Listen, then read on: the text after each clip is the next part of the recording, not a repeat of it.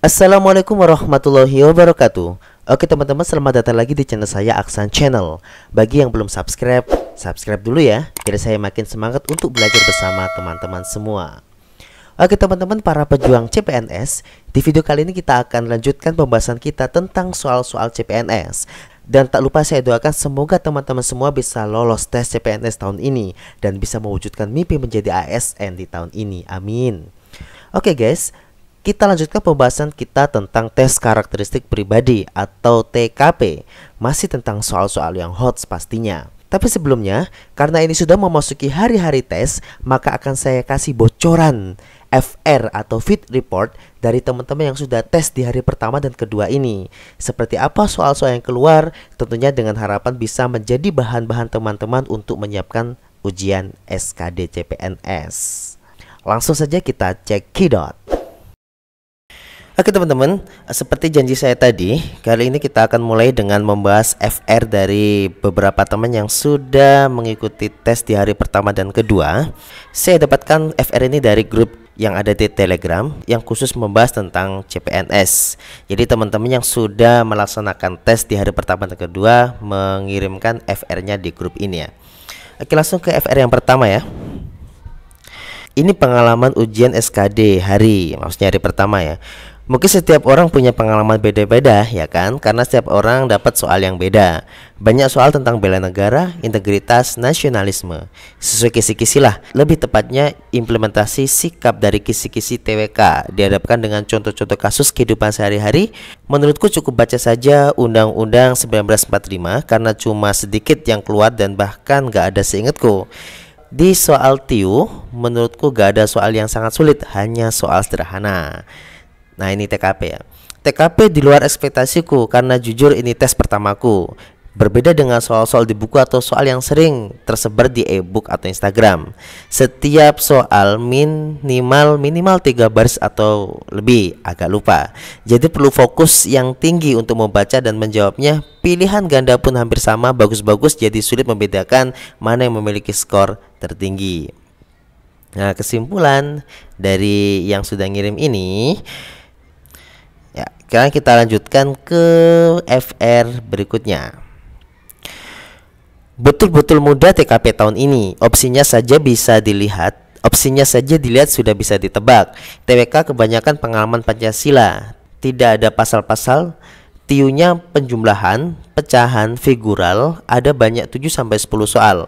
Silogismenya cukup mudah. Tidak heran kalau banyak yang PG tadi. Jadi pas di tempatnya yang ngirim ini ternyata banyak yang passing grade ya. Ada juga soal Sumpah Pemuda dan banyak yang share tentang Muhammad Hatta. Muhammad Hatta ini muncul dari Pergerakan Nasional Indonesia kemerdekaan sampai Indonesia jadi RIS atau Republik Indonesia Serikat. Figural tadi keluar sekitar 5 soal. Aku dapat soal juga tentang sinonim paduan kata tadi. Uh, kita lanjutkan ke selanjutnya. Nah ini. FR dari grup Pemkapku dipelajari Undang-Undang 45 dan amandemennya poin-poin Pancasila banyak masuk. Untuk TKP sangat banyak soal cerita. Biasakan baca cepat pelajari tentang pecahan. Pasti nih Tio. Nah, kesimpulannya, kesimpulan FR hari ini TKP-nya lebih mudah dari tahun lalu. Nah, ini pasti sudah pernah tes di tahun sebelumnya. Ini di video penjabaran tadi kepala BKN yang mengatakan TKP bakal dipermudah tetap panjang tapi pilihan jawabannya tidak membingungkan seperti tahun lalu. TWK ternyata nggak hot, Tiu lebih banyak silogisme, figural, analitis dan analogi. Oke teman-teman yang perlu diingat, setiap orang mendapatkan soal yang beda-beda. Jadi pas yang ngirim ini kebetulan soalnya mudah, terutama TKP-nya katanya jauh lebih mudah. Kita bahas satu lagi ya. Nah ini nih. FR hari ini. TWK lupain semua hafalan lo Pasal, perjanjian, lambang kemerdekaan gak ada keluar sama sekali. Fokus pada penalaran. TIU standar, mostly figural. TKP standar juga. Ya kita lanjutkan ke FR yang lain ya. Uh, Ini. Soal dibagi rata per kisi-kisi. Berhubung TWK ada 5 kisi-kisi Jadi satu kisi-kisi ada 6 soal. Dan diacak banyak kan dapatnya soal yang tipenya contoh kasus, contoh sikap, pilar negara macam Pancasila, Undang-Undang Bhinneka Tunggal Ika tadi nggak banyak keluar, masing-masing satu dua soal saja. Alhamdulillah nggak dapat soal radikalisme. Tiu soal gambar 6, deret angka 4, analogi 3, penalaran analitis 2, analisis data 2, perkalian pecahan 4, TKP. Gak jauh beda sama tahun-tahun kemarin soal-soalnya. Alhamdulillah tertolong standar PG yang turun tahun ini. Sekian efeknya itu versi dari aneh ya. Mengingat setiap orang beda-beda dapat macam soalnya semoga bermanfaat. Wassalam. Waalaikumsalam. Selanjutnya kita buka satu lagi ya. Uh, ini nggak begitu menggambarkan ya kita langsung saja ke yang lain. Nah, ini yang ini kayaknya pas Inggris juga ya. Kita cek ya. Baik. Uh, sesi yang mengirim FR ini ujian tanggal 27 Pasal-pasal dan Undang-Undang 45 nggak ada yang keluar. Yang keluar pengamalan Pancasila Atau pengamalan bukti-bukti Pancasila. Dikasih ilustrasi misal rakyat memilih ketua RT, RW itu butir berapa. Terus menghamburkan uang butir berapa. Memakai produksi produksi dalam negeri itu butir berapa. Perjanjian yang terjadi apa Padanan kata serapan yang benar misal komoditas atau komoditi. Penulisan ejaan huruf yang benar, ide pokok paragraf induksi dan deduksi, penggunaan tanda baca yang benar semisal penggunaan tanda kutip dua untuk kalimat apa nanti dikasih kalimat dipilih di pilihan gandanya. Ini contoh kalimat majemuk bertingkat dan seterusnya. Sekarang kita cek TKP-nya. Ya. Oke, kita ketiu dulu. Soal deret gambar lanjutan ada sekitar 7 buah gambar. Nanti cari lanjutan gambar berikutnya. Harus jeli soalnya gambarnya banyak macam. Alhamdulillah berkat tips Mimin bisa bisa jawab semuanya. Makasih. Terus silogisme ada 4 buah dan gak panjang. Soal deret yang ini agak susah karena digabungkan antara pecahan terus desimal. Misalnya ganjil. Am pun yang ini asal tebak dicari gak nemu. Pilihan gandanya dibikin dibikin desimal semua bukan bentuk pecahan. Dan ada tiga soal. Antonim dan seterusnya ada analogi. Oke kita ke TKP ya TKP banyak tentang teknologi daring, maksudnya daring paling ya. Gak ngerti apa itu daring, tapi lebih banyak teknologi gimana cara kita memanfaatkan teknologi kalau kita jadi pakar IT sikap kita gimana, mau bantu teman atau gimana, pokoknya harus hati-hati. Semua ketika tidak kami rubah kecuali hanya kami tambahkan keterangan dan sumber saja. Tuh. Kita bahas satu lagi ya. Kita bahas satu lagi. Oke, FR teman-teman Mau sedikit cerita tentang tes hari ini. TWK soal yang keluar lebih banyak ke pengamalan nilai-nilai Pancasila, Bhinneka, dan sebagainya di kehidupan sehari-hari. Misalnya gotong royong, menghargai perbedaan, adat, budaya, perbedaan agama, dan sebagainya. Tentang bela negara tadi soal yang keluar seperti tanggapan kita terkait wajib militer bagi pemuda Bagaimana seharusnya Bagaimana seharusnya peran serta NKRI di dunia internasional, politik luar negeri Indonesia non-blok, contoh kecil bela negara dan kehidupan sehari-hari. Bahasa keluar banyak soal tentang perbaikan kalimat, ide pokok, rikasan dari sebuah artikel bahasa Indonesia soal kayak koran. Panjang ya, jadi teman-teman harus latihan membaca. Soal tentang radikal, uh, soal tentang radikalisme, terorisme dan toleransi juga keluar. Ekonomi internasional, tanggapan terkait serbuan budaya asing ke Indonesia, undang-undang pertahanan.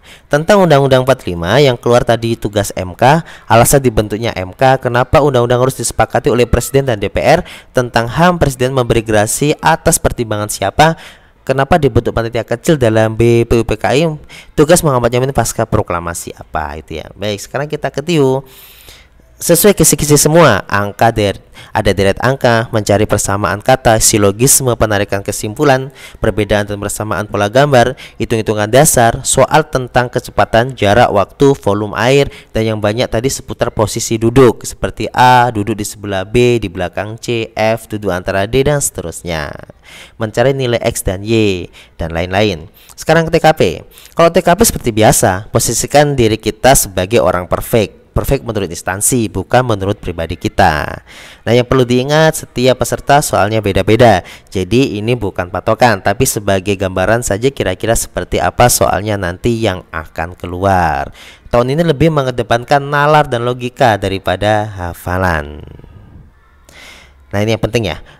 Mangat teman-teman yang belum tes. Semoga Allah mudahkan dan mendapat hasil yang terbaik. Sudah ya? FR-FR yang lain Fit record yang lain akan kita bahas di video-video selanjutnya Biar nggak terlalu panjang. Oke teman-teman, sudah dapat gambaran ya dari FR-FR yang sudah dibuat oleh saudara-saudara kita yang sudah tes.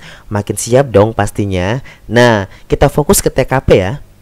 Dari beberapa FR tadi, mayoritas menyebutkan soal TKP-nya gampang. Eits, tapi teman-teman jangan kendor belajarnya. Satu yang harus teman-teman tahu, di database-nya soal SKD itu ada ribuan bahkan puluhan ribu soal dan akan dikerjakan oleh peserta secara random. Jadi kita tidak pernah tahu bentuk soal seperti apa yang bakal keluar. Maka dari itu saya sarankan teman-teman tetap belajar soal-soal yang hot. Siapa tahu soal yang keluar pada saat teman-teman nanti tes adalah soal yang host dan panjang-panjang. So that's di video kali ini saya mengajak teman-teman untuk belajar soal-soal TKP masih dengan jenis soal hots dan panjang tentunya. Hai teman-teman, kita lanjutkan dengan latihan soal-soal tes CPNS TKP. Ya, Sebelum kita masuk pada soal yang pertama, saya ingatkan kembali kepada teman-teman semua dalam mengerjakan soal TKP, saya udah kasih jurus ya ke teman-teman ya. Bisa dilihat di part sebelumnya, di part 2. Hal yang harus pertama kita lakukan adalah mengidentifikasi soal ini masuk dalam kategori apa. Apakah termasuk dalam pelayanan publik? Apakah termasuk dalam kemampuan mengendalikan diri? Apakah termasuk dalam profesionalitas dan seterusnya? Dengan cara apa? Kita lihat ciri-ciri soalnya dan ciri-ciri soalnya sudah kita bahas tuntas ya di part-part sebelumnya. Nah, kemudian setelah itu, biar lebih aman, kita cari dua jawaban. Jawaban yang pertama, kita tandai jawaban yang menurut kita paling benar. Yang kedua, cari jawaban yang menurut kita paling salah yang poinnya satu untuk apa? Untuk kita hindari karena jangan sampai teman-teman dapat nilai satu itu sangat merugikan nanti ketika di total maka itu akan mengoreksi nilai kita. Jadinya nggak terlalu banyak atau bahkan nanti malah nggak sampai passing grade. Sehingga saran dari saya selain menemukan jawaban yang kira-kira dapat poin 5 teman-teman juga pastikan yang poin satu tahu sehingga bisa kita hindari. Baik langsung kita soal nomor satu ini ya. Kita bahas bersama anda seorang mahasiswa yang mendapatkan tugas materi dalam kelompok dan dijadwalkan untuk presentasi besok dan Anda ditunjuk sebagai ketua kelompok. Dalam kelompok Anda terdiri dari empat orang termasuk Anda. Ketika dalam proses penyusunan materi, Anda sudah mengetahui kemampuan akademis rekan-rekan satu tim Anda sehingga Anda tahu mana orang yang mampu membantu menyusun materi dengan baik dan yang tidak. Bahkan Anda mengetahui mana yang pasif hanya mengandalkan rekannya yang lain dan mana yang tidak. Bagaimana sikap Anda? Nah, dari penuturan beberapa teman yang sudah ujian, soal-soal seperti ini yang banyak keluar, yaitu ketika Anda diposisikan sebagai seorang pemimpin. Nah, ini jangan sampai lepas ya soal kayak gini ya. A. Membagi tugas penyusunan materi sesuai dengan kemampuan akademis masing-masing anggota. B. Membagi tugas penyusunan materi sama rata kepada seluruh anggota tanpa memandang kemampuan mereka sama sekali.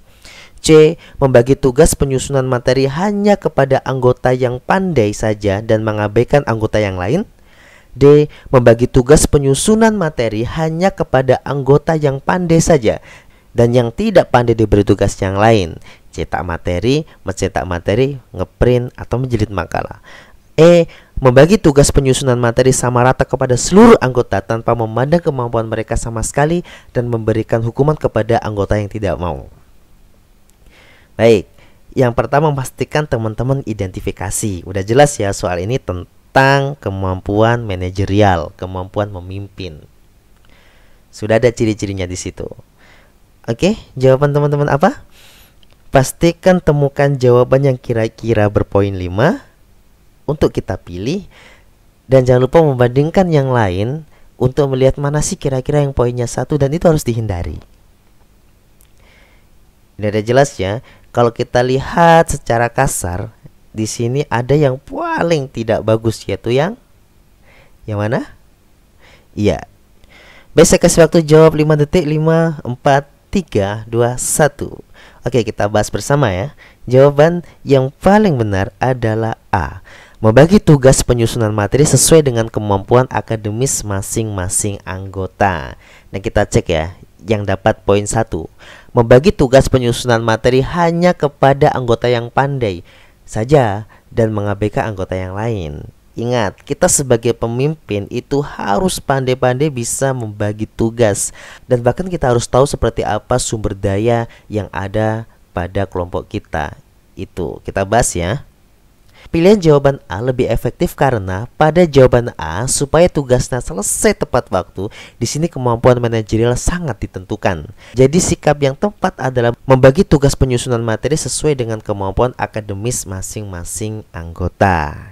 Ya, jadi di sini posisikan teman-teman sebagai seorang pemimpin dan bagaimana bisa membagi tugas secara rata sesuai dengan kemampuan masing-masing anggota. Kita langsung ya ke soal yang kedua. Ahmad adalah seorang ahli statistika di perusahaan startup tempat ia bekerja. Dalam bertugas, ia lebih sering berada di belakang komputernya untuk mengolah data. Namun kali ini Ahmad ditugaskan mengunjungi daerah pedalaman dan berinteraksi dengan masyarakat setempat untuk mengumpulkan data. Ahmad merasa gugup. Jika Anda adalah atasan Ahmad, apa yang akan Anda lakukan? Baik, soal nomor dua ini sama dengan nomor satu ya. Kita diposisikan sebagai pemimpin. Dan lagi-lagi saya katakan, soal-soal seperti ini pasti akan keluar pada soal TKP CPNS, yaitu ketika kita dijadikan seorang pemimpin. Kita lihat pilihan jawabannya ya. A. Memberikan tugas terperinci untuk memudahkan Ahmad dalam melaksanakan tugasnya. B bersikap biasa saja karena tugas adalah tanggung jawab semua karyawan. Karenanya siapa pun harus bersiap menjalankan tugasnya. C. Menanyakan kesediaan dan kesiapan Ahmad dalam menjalankan tugas tersebut. D. Berdiskusi tentang ide dan masukan yang dapat diberikan Ahmad kepada atasan dan perusahaan tentang tugas tersebut. E. Memfasilitasi segala kebutuhan dan permintaan Ahmad dalam bertugas. Ya, pastikan teman-teman identifikasi sudah kita identifikasi bersama ya. Ini tentang kemampuan manajerial, kemampuan memimpin karena kita sebagai atasan. 5 4 3 2 1. Saya yakin pasti sudah tahu ya jawabannya. Ya, kita bahas bersama. Poin paling tinggi ada di pilihan D. Berdiskusi tentang ide dan masukan yang dapat diberikan Ahmad kepada atasan dan perusahaan tentang tugas tersebut. Kenapa demikian? Kita cek pembahasannya. Seorang atasan bukan hanya memerintahkan penugasan sesuai kehendaknya, atasan juga harus menggali potensi bawahannya karena bisa saja ide yang disampaikan dapat menjadi solusi yang baik. Jadi di soal ini topiknya adalah kombinasi ya antara profesionalisme dengan kemampuan memimpin seseorang. Ini yang harus teman-teman pahami. Soal nomor tiga, Anda seorang resepsionis di suatu kantor yang bergerak dalam bidang pelayanan. Banyak keluhan yang ditujukan pada instansi tempat Anda bekerja, padahal di instansi Anda tersebut terdapat fasilitas untuk keluhan online. Sikap Anda adalah A. Menerima keluhan para konsumen sembari mengajarkan cara menyampaikan keluhan secara online. B. Menerima dan menanggapi keluhan sembari mengajarkan cara menyampaikan keluhan secara online. C. Menerima dan menyelesaikan keluhan konsumen sambil menanyakan apakah ada kesulitan saat menyampaikan keluhan secara online. D. Menyelesaikan keluhan konsumen sambil menanyakan apakah ada kesulitan saat menyampaikan keluhan secara online. E. Mendengarkan keluh kesah konsumen tentang masalahnya dan mengajarkan cara menyampaikan keluhan secara online. Silakan diidentifikasi. Saya kasih waktu 5 detik berpikir. 5, 4, 3, 2, 1. Baik, kita bahas bersama ya. Jawabannya adalah Ya, poin tertinggi ada pada pilihan B.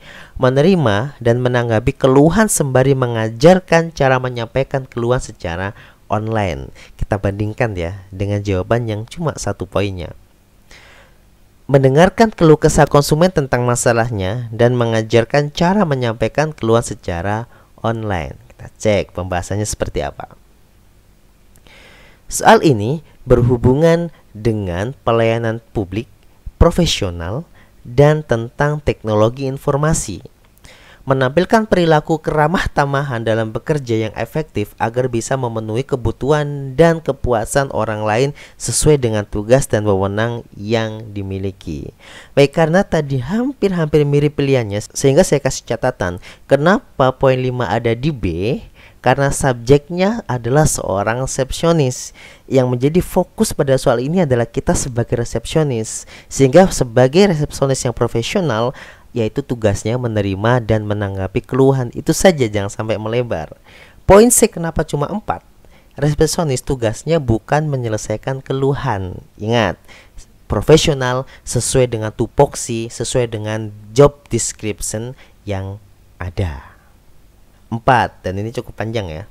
Pagi ini seperti biasanya, Anda selalu sibuk dengan rutinitas di pekerjaan sebagai seorang customer service pada sebuah rumah sakit pemerintah. Ketika Anda sedang asik bekerja, datanglah seorang ibu-ibu tua yang ingin menanyakan prosedur penggunaan BPJS Kesehatan untuk proses rawat inap anaknya yang sedang sakit dan membutuhkan perawatan secepatnya agar sakitnya tidak bertambah parah. Setelah Anda menjelaskan panjang lebar dengan bahasa yang mudah dimengerti beberapa kali kepada sang ibu, namun ternyata ibu tersebut tampak sangat kebingungan dan mengatakan bahwa dia tidak mengerti sama sekali dengan prosedur yang Anda jelaskan. Bagaimana sikap Anda? Nah, kalau ada ibu-ibu kayak gini pasti agak menjengkelkan ya. Tapi ingat, karena Anda adalah seorang customer service, tetap harus mengasih pelayanan yang bagus. Kita cek ya. A. Menjelaskan secara pelan-pelan dengan bahasa yang mudah difahami oleh ibunya agar dia tahu maksud dari apa yang Anda jelaskan. B menjelaskan dengan sabar sembari mengajak sang ibu untuk tenang terlebih dahulu agar lebih fokus ketika Anda menjelaskan. Jika masih kebingungan, Anda akan membantu ibu tersebut untuk proses pengurusannya. C. Menjelaskan secara perlahan tahapan demi tahapan yang harus dilakukan ibu tersebut dengan bahasa yang santun agar sang ibu faham maksud dari apa yang Anda jelaskan. D. Meminta sang ibu untuk memanggil salah satu anggota keluarganya agar Anda bisa menjelaskan hal tersebut kepadanya. E. Meminta teman Anda yang lebih berpengalaman dalam melayani keluhan pasien yang kebingungan dalam memahami prosedur yang ada. Ini mirip-mirip banget ya, tapi pasti ada satu yang poinnya paling tinggi dan pasti ada satu yang paling nyeleneh. Dan itu harus kita hindari. Sudah? Sudah diidentifikasi ya? Baik, langsung kita bahas bersama. Poin yang paling tinggi adalah poin D, meminta sang ibu untuk memanggil salah satu anggota keluarganya agar Anda bisa menjelaskan hal tersebut kepadanya. Kenapa demikian? Cek. Topik pelayanan publik. Jadi soal ini tentang pelayanan publik.